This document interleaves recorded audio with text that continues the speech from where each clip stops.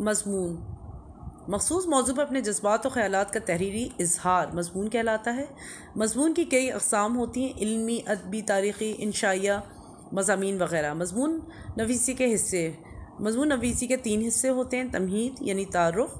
नफ्स मजमून ज़रूरी तफसीलात जिसमें दी जाती हैं अख्ताम जिसमें नतज या नतीजा होता है। मजमून नवीसी का असलूब सादा, संजीदा गैर संजीदा होता है।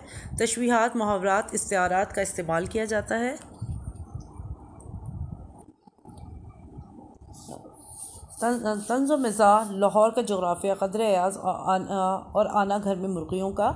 ये इंशाइया मजामी है, यानी तंज मिज़ा से भरपूर हैं, जिसमें हँसी मज़ाक का अंसर पाया जाता है और हल्के फुल्के अंदाज में मजामी लिखे गए हैं।